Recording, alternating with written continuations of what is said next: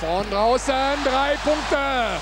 Und auch da die Faust von Jan Rodewald. Zusammen mit seinem Bruder Götz Rodewald an den Rhein gekommen, vorher in der zweiten Liga gespielt. In Bramsche, auch in Dortmund einmal. Schöne Verteidigung. Ja, das klappt wirklich ziemlich gut bei den Bonnern. Kelecevic mit den Händen dazwischen. Hat man schon gesehen, wie er nach vorne dribbeln kann. 2,6 Meter sechs groß. Unglaubliche Bewegung hat er drauf.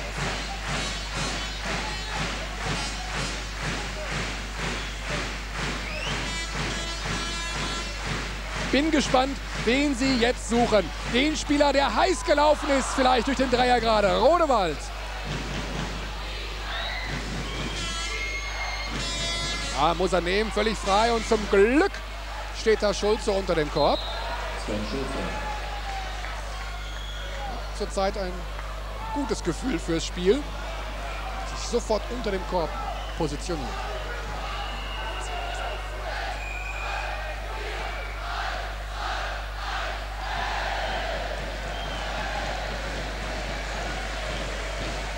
Ken Scalabroni. Sicherlich auch beeindruckt von der Kulisse hier. Laola in der Hartberghalle. Aber er kann nicht klagen, auch die Bamberger Fans sind ja ein klasse Publikum. Offensivfoul jetzt von Gunther Behnke und da muss er von seinen Mitspielern zurückgehalten werden, denn sonst gibt es gleich ein technisches Foul gegen ihn. Diskutiert er ziemlich heftig mit den Schiedsrichtern, das ist sein viertes Foul. Er ist äh, zugegebenermaßen nicht unbedingt der Mittelpunkt der Offensive bei Bonn, aber in der Defense ein unglaublich wichtiger Mann für Rebounds, für Blocks, überhaupt für Präsenz in der Zone. Ja, und jetzt wieder ausgewechselt. Stinksauer ist er. Vierte Foul und wie schon erwähnt in der ersten Halbzeit, Foulprobleme, das ist kein neues Thema bei Günther Behnke.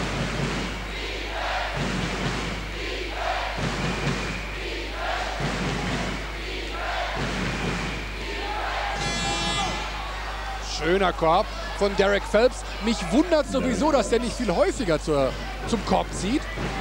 Denn er ist nun mal unglaublich schnell und die Bonner haben bisher immer nur einen Gegenspieler gegen ihn gestellt.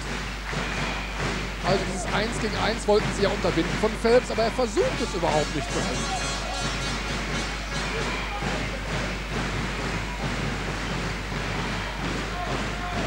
Oh, weit draußen da. Sebastian Machowski. Zum Glück Kelecic beim Rebound tippen.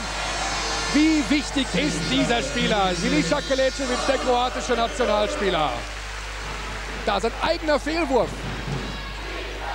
wird von ihm mit Tipp in versenkt. Wieder Führung für Bonn.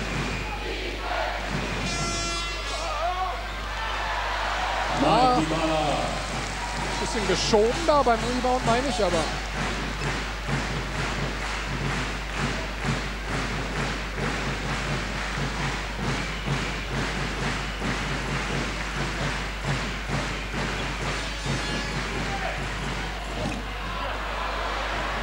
Tja, er hat ein gutes Auge für Mitspieler, aber aus der Distanz ist er halt ziemlich schlecht. Eric Taylor, Schrittfehler jetzt von Sven Schulze. Tja, gucken wir mal. Ja, kann man pfeifen. Hat er halt das hintere Bein vom Boden gehoben und noch nicht angefangen mit dem Dribbling. Das geht nicht. So, Pervas wieder mit dabei. Sie erinnern sich, der Mann mit dem ledierten Rücken, obwohl nach Auskunft des Physiotherapeuten bei Telekom Bonn ist es eindeutig auf dem Weg der Besserung. Foul gegen Switek. TTL Bamberg Nummer 14, Stefan Switek, drittes Foul. Zweitbester Schütze bei Bamberg, Stefan Switek mit 10 Punkten.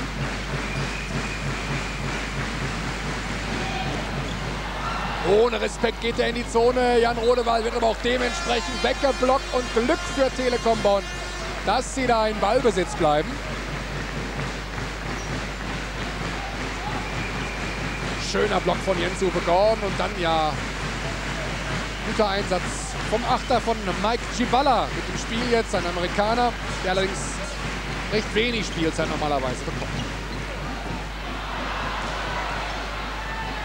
In solchen Situationen im Ballbesitz zu bleiben, das ist so unglaublich wichtig in einem engen, in einem umkämpften Spiel. Der Ball war eigentlich schon weg nach dem Fehlwurf von Kelecevic, aber aufgrund ihrer guten Basketball-Grundschule immer in irgendeiner Form versuchen, den Arm, die Hände an den Ball zu kriegen nach dem Fehlwurf. Bleiben sie jetzt im Ballbesitz. Das sind so Kleinigkeiten, aber die machen oftmals einen Unterschied aus.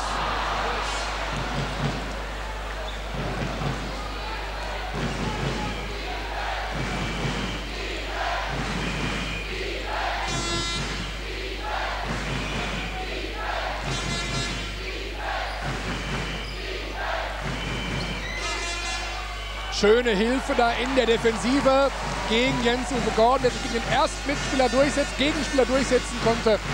Aber der zweite war dann zu viel. Ein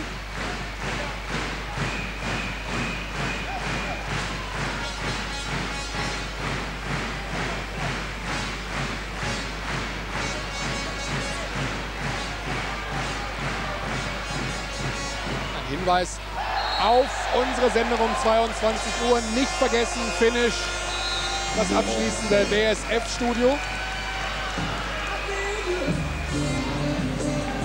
Mit Beiträgen ganz klar vom Fußball, vom Sonntagsspiel. Hamburg gegen Rostock aus der Bundesliga.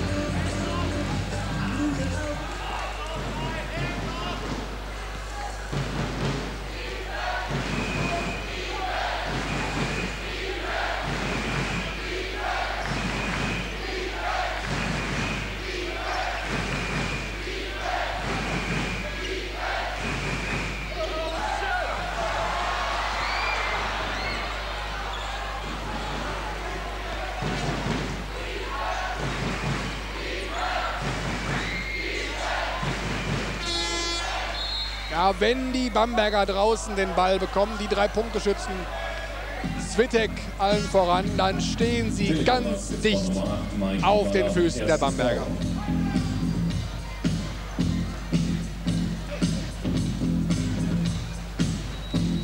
Haben ihre Aufstellung jetzt etwas vergrößert, die Bamberger mit der 11. Norman Frömel, ihr größter Spieler, mit 2,13, aber der kommt gerade erst von einer Rückenoperation zurück. Der ist noch nicht wieder hundertprozentig hergestellt. Deswegen auch hier beim Rebound den Nachteil gegenüber Mike Chipan.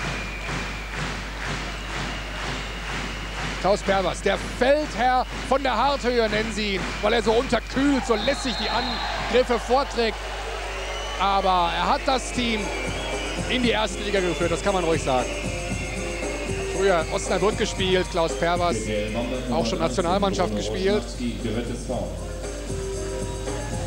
Exzellenter Basketballer.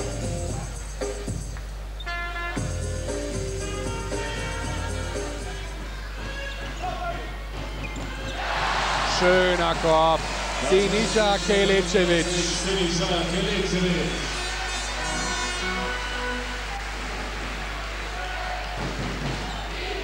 18 Punkte für den Kroaten.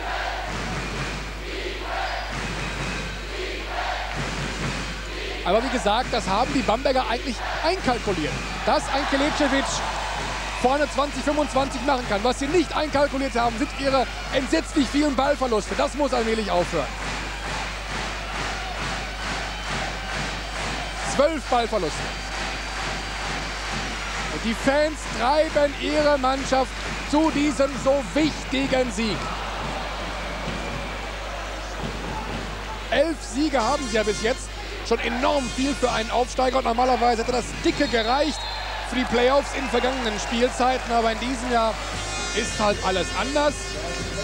Da braucht man sogar zwölf Siege, um in die Playoffs zu kommen. Offensivfoul hier von Roschnawski. Und das ist die Auszeit. Wir sind gleich wieder zurück. Telekom-Chef Ron Sommer als Ehrengast heute mit seinen beiden Söhnen und mit einigen Bodyguards hier angerauscht. Da waren die Offiziellen von Basket, von Telekom Basket, von natürlich ziemlich aufgeregt, dass der Chef vom Sponsor kommt. Erstmalig in dieser Saison. Und die Cheerleader, die im Übrigen eine hervorragende Halbzeitvorstellung hier abgeliefert haben. Temporeich, schmissig, also auch während der Pause eine tolle Stimmung in dieser wunderschönen Basketballhalle, die wirklich zum, mit zum Besten gehört, was wir im Basketball-Bundesliga-Geschäft in Deutschland haben. Mehr solcher Hallen, mehr solcher Fans braucht das Land. Klaus Pervas für die Bonner.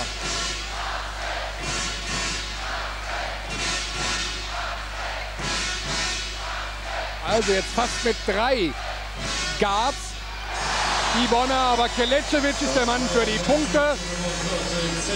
Kleine Aufstellung bei Bonn mit Rodewald, mit Pervas, mit Taylor, mit dem doch recht kleinen Mike Giballa und Kelecevic sozusagen als Center. Wie gesagt, er kann alle fünf Positionen eigentlich spielen.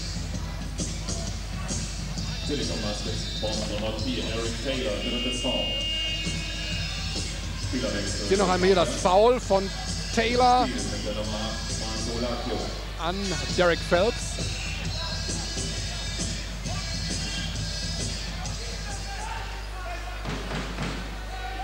Einwurfseite Bruno Roschnapski für den TTL. Sieben Punkte Führung für Bonn. Und von draußen kommt wenig. Wittek, zweiter Versuch hintereinander. Zweiter Fehler. Noch einmal Rebound vom Bamberg durch Gordon und das Foulspiel. Achtung, erhitzte Gemüter. Pervas Gordon.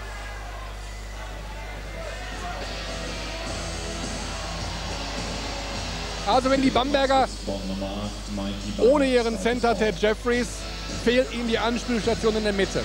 Ohne das Händchen von draußen. 4 von 14 Drei-Punkte-Würfe. 28 Prozent. Also da darf man sich nicht wundern, dass wir sieben Minuten vor Ende dieses Spiels magere 45 Zähler bisher auf der Bamberger Seite zu verbuchen sind.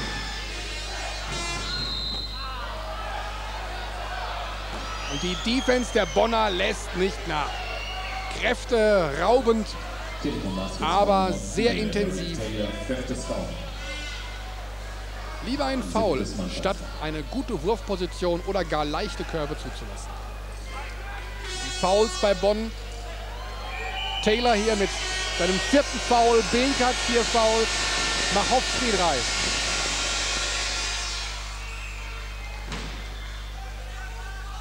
Ah, die Poster nutzen nichts mehr. Von den Fans aus Bonn. Derek Phelps macht beide rein. Aber er spielt weiter. Eric Taylor mit vier Fouls. Also es bleibt bei der kleinen Aufstellung der Bonner. Schauen Sie mal hin, da ist Taylor, Pervas als Spielaufbauer und eben auch der junge Jan Rodewald hier mit der 10. Drei Guards. Und für die Rebound-Arbeit, für das schmutzige Geschäft unter dem Korb, da ist der Amerikaner Mike Chibala zuständig. Spielt eigentlich ganz gut vorher immer so rumgehört. Ich habe ihn bisher noch nicht gesehen, so häufig in dieser Saison. Wie spielt der denn? Und die meisten sagten, na ja, also so lala. Aber holt hier wichtige Rebounds.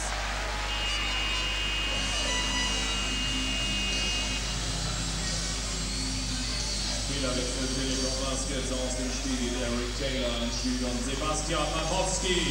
Jetzt nimmt er einen runter. Eric Taylor also mit vier Fouls auf der Bank. Sebastian Machowski mit im Spiel. 54, 47 und so ganz allmählich habe ich das Gefühl, dass den Bambergern hier die Luft ausgeht mit ihrem Mini-Kader.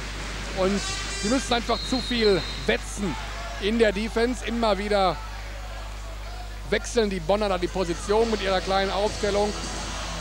Und Bamberg ist Bonn Nummer 8, Mikey Bauer, drittes Foul. ich sag einmal einfach, nicht besonders fit derzeit.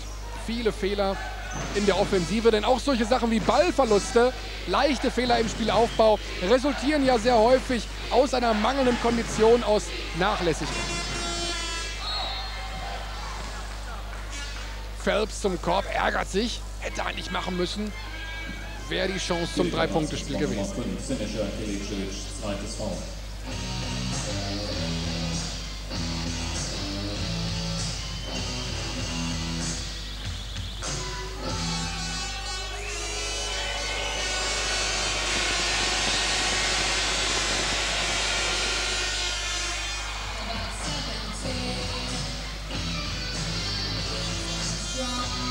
Erste Sitz für den College Champion Derek Phelps. Ist damals äh, in den USA College Meister geworden mit North Carolina zusammen mit Henrik Rödel, dem Berliner. Ist auch schon ein paar Jahre her mittlerweile, aber für jeden Basketballer in den USA wird das Größte, was es überhaupt gibt, Meister zu werden mit seinem College.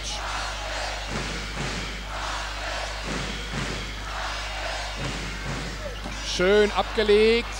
Schade, wären zwei Punkte wert gewesen. Dann Foulspiel von Giballa beim Rebound an Jens Gordon. So, mittlerweile dürften wir auch Gibala, über dem Limit sein in der zweiten Halbzeit. So ist es auch. Es gibt Freiwürfe jetzt für Jens Gordon. Tja, da kann man auch als kleiner Fan beim Basketball nicht immer hinschauen, wenn dieses Gelatsche über das ganze Spielfeld ansteht, von einem Kopf zum anderen. Nach diesen Mannschaftsfouls halt, wo es nach jedem Wurf, pardon, nach jedem Foul Freiwürfe gibt. Das lähmt halt so ein Spiel ziemlich häufig. Und ich weiß, die Damen und Herren vom DBB werden sagen, jetzt sagt er das schon wieder. Das sagt er jedes Mal. Tue ich auch. Bis die Regel geändert wird. Sage ich das bei jedem Spiel. Mehr Tempo, gerade auch in solchen spannenden Phasen. Dann gehen die über das ganze Feld für zwei Freiwürfe. So, jetzt wieder Ruhe. Fünf Minuten vor dem Ende. Bonn führt mit drei. Oh, Airball. Das nimmt natürlich Selbstvertrauen. Da zittert das Händchen. Jan Rodewald. Und Foulspiel von Bruno Ruschnowski. Und jetzt dreht er gleich durch oder nimmt das gelassen. Bei der ersten Halbzeit ja schon so schlecht auf die Schiedsrichter zu sprechen. Jetzt ist er vor allen Dingen sauer, dass es sein fünftes Foul ist. So ist es richtig. Bruno darf also auf die Bank. Und die Fans winken ihm auf Wiedersehen. Ja, goodbye, mein Junge. Ein wichtiger Spieler bei den Bambergern.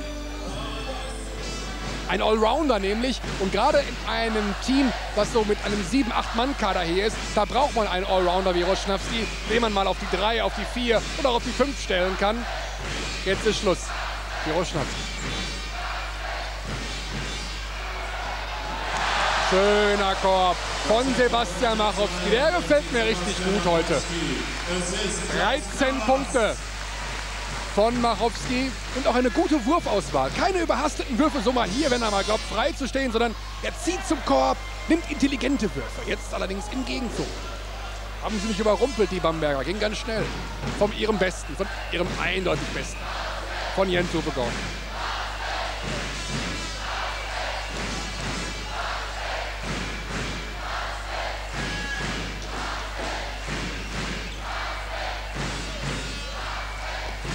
Schönes Anspiel und dann der Block von Zwitek. Na, musste nicht zählen, aber dafür war es so schön anzuschauen, dieser Block.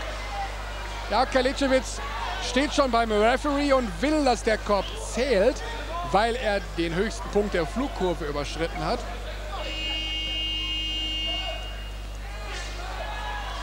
Ein Blick, jetzt kommt, ja, muss zählen. Der Ball ist am Brett und dann darf er eh nicht mehr geblockt werden. Er darf dann wieder weggeschlagen werden, wenn der Ball auf dem Ring ist.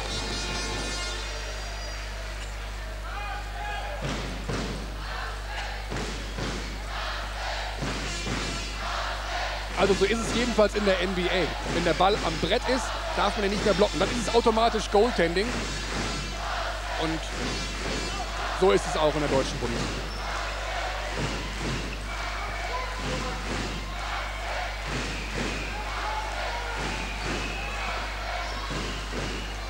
Mit vier Fouls, drei Punkte. Eric Taylor, jetzt fängt er an zu treffen. Von draußen.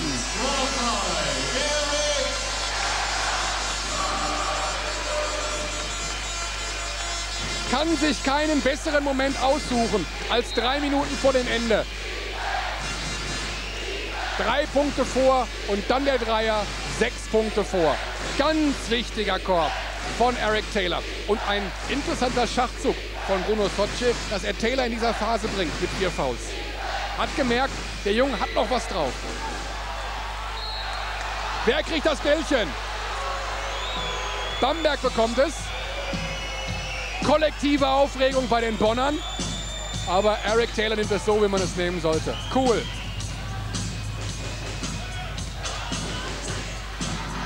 Ja, da war der Ball auf der Glatze von Jens-Uwe Gordon. Also eigentlich schon ballweiß.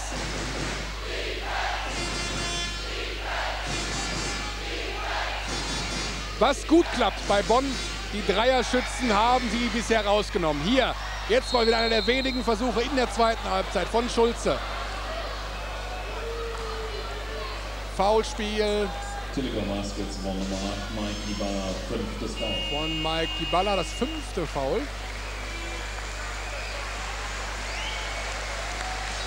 Gut gearbeitet. Ist durchaus entwicklungsfähig, dieser Spieler. Hoppla. Einmal gegen die Bande gebrettert. Hoffentlich war da nicht das Zeichen vom Hauptsponsor drauf. Man gibt Schelte von Onkel Ron.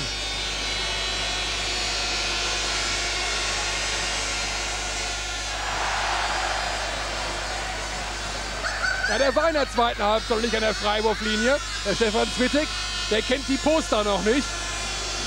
Von den Bonner Fans.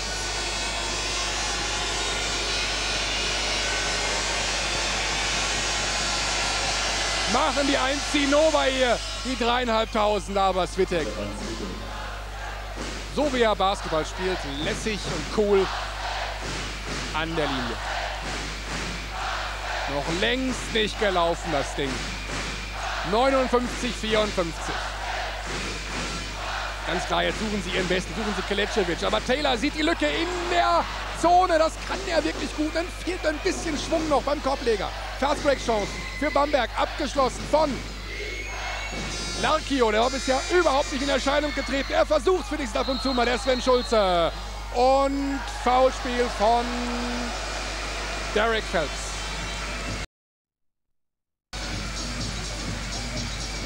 Foulspiel von Derek Phelps.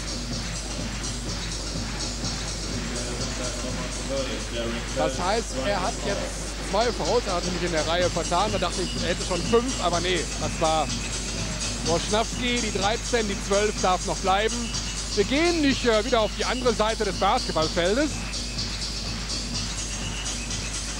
Umdrehen das Mädel, die will bestimmt ein bisschen was vom Spiel sehen.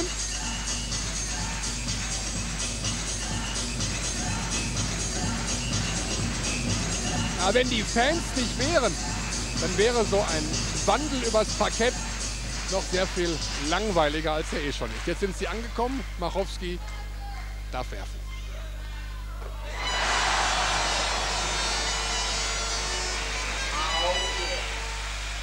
Zwei 23 vor dem Ende, sechs Punkte Führung.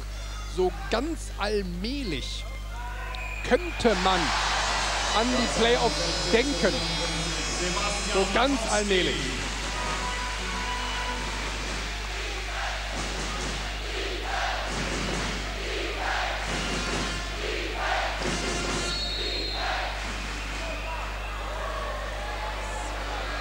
Oh, er packt sich an die kurzen Haare. Foul von Gunther Behnke.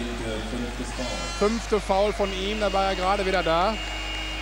Darf schon wieder gehen. Nicht mal fürs Schwitzen hat es gereicht. In dieser kurzen Einsatzzeit.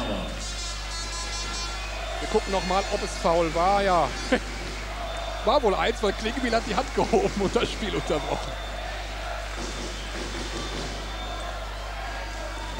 An der Freiwurflinie Jens Ove Gordon mit der Chance zu seinem 21. Punkt.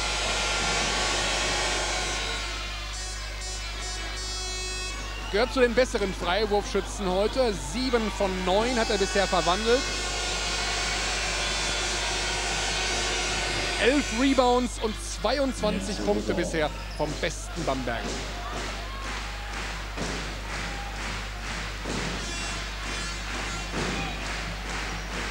Zwei Minuten, fünf Punkte vor. Noch zwei Minuten bis zu den Playoffs. Dann gibt es, ich denke mal, von Ron Sommer ein paar Freieinheiten für die Spieler.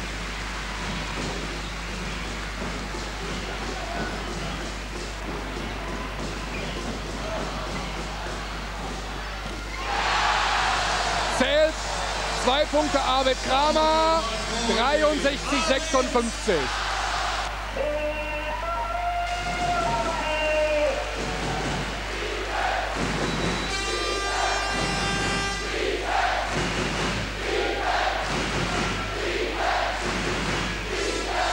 hält es keinen mehr auf den Sitzen hier. Alle Mann sind aufgesprungen, feuern ihr Team, vor allem auch in der Defense an, weil sie wissen, das ist unsere Stärke. Und die Bamberger, jetzt nehmen sie doch einmal die Auszeit, Ken Scalabroni, gerade beim Anschreibetisch, aber wir hören trotzdem mal lieber in die Bonner Ecke rein, welche Maxime jetzt gilt beim Team von Bruno Socce, wie er sein Team jetzt in die letzten, in die schwierigen Sekunden dieses Spiels schicken wird. Jungs, Jungs, wir müssen jetzt treffen.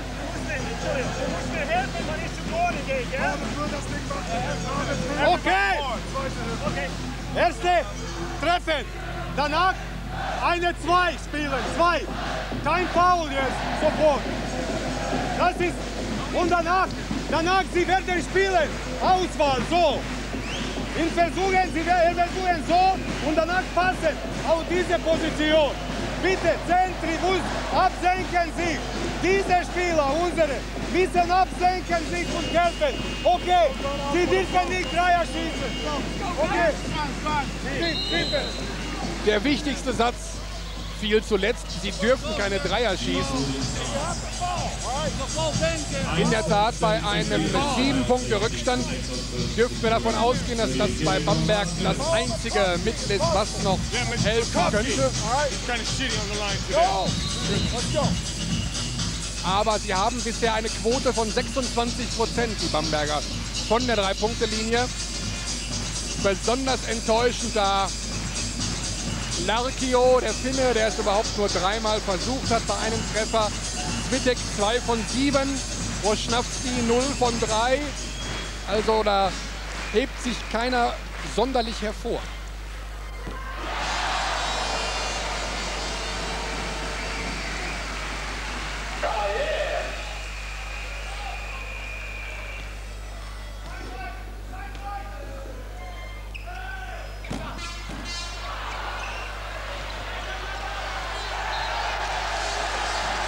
Einwurf weiß. Ah, das sind so wichtige Situationen, so Kleinigkeiten. Einfach nur den Ball an des Gegners Bein gespielt, ins Aus. Einwurf Bonn.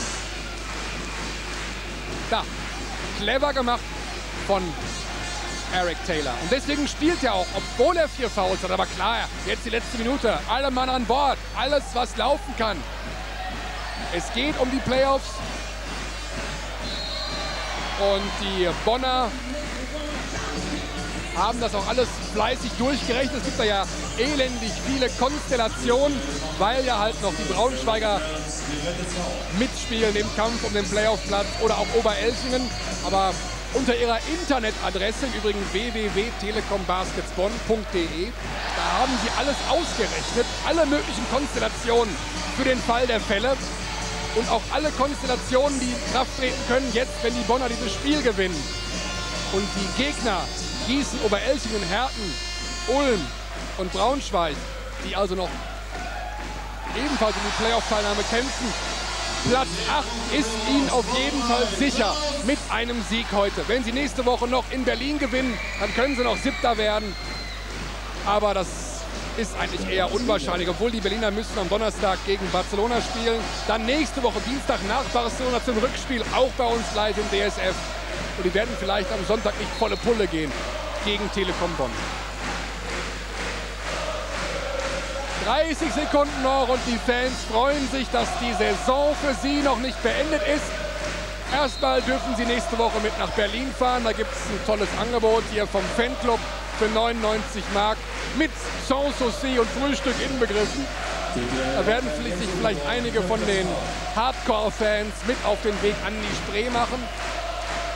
Tja, und dann, wenn sie dann Achter werden, dann gibt es Alarm. Dann kommt Berlin. Oder wenn sie Siebter werden, dann gibt es Alarm hoch 10. Dann geht es gegen Röndorf. Und dann rennt der Rhein. Rhein in Flammen gibt es doch auch. Einmal im Jahr, dieses tolle Schauspiel. Das gibt es dann halt im Basketball doppelt zu sehen. So, die letzten Sekunden werden bestimmt vom taktischen Fouls der Bamberger, um die Uhr anzuhalten. Aber das wird ihnen nichts mehr nutzen. Denn acht Punkte vor, 67, 59. Da ist alles gelaufen.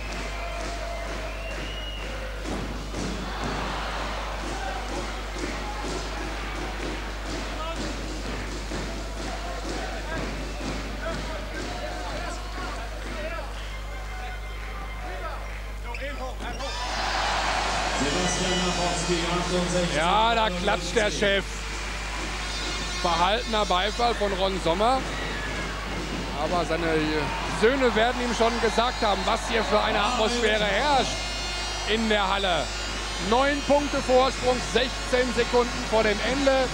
Party Time in Bonn.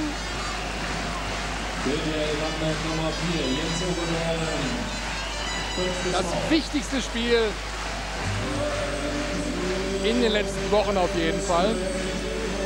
Für die Rheinländer gegen Bamberg. Bringt den Aufsteiger in die Playoffs.